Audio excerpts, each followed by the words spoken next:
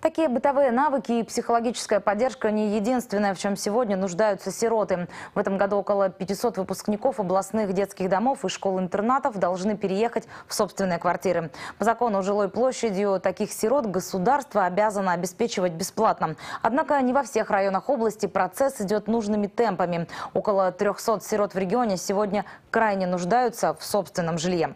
В Кирове же для выпускников интернатов власти решили строить дома. Сколько человек в ближайшее время смогут получить положенные по закону квадратные метры и скольким придется ждать неопределенный срок, узнал Дмитрий Житарчук.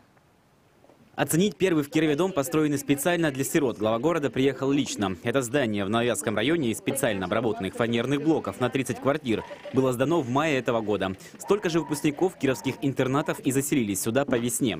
Площадь каждой квартиры 26 квадратов. Есть своя ванна и туалет, но, как выяснилось, пока без горячей воды. Но есть также и минусы. Какие проблемы? С горячей водой у нас проблемы. Вопрос с горячей водой власти пообещали решить и отправились к очередной местной стройке. Через год здесь, в Новятском районе, квартиры получат еще 50 сирот. Строители заверяют, дом из таких блоков вполне надежен. Простоит как минимум полвека, да и зимой в нем не замерзнешь. экологически чистые и то есть пароизоляция с обоих сторон. То есть вот метод термоса мне вот как бы самому лично нравится эти дома.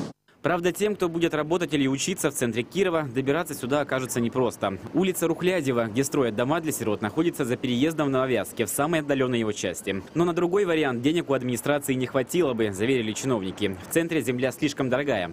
А тут квадратный метр обошелся в 33 тысячи. Да и спустя пять лет сироты получат право распоряжаться квартирами, как захотят.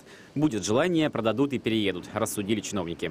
То есть это жилье не постоянное. Это жилье для них, вот для детей-сирот, оно временное.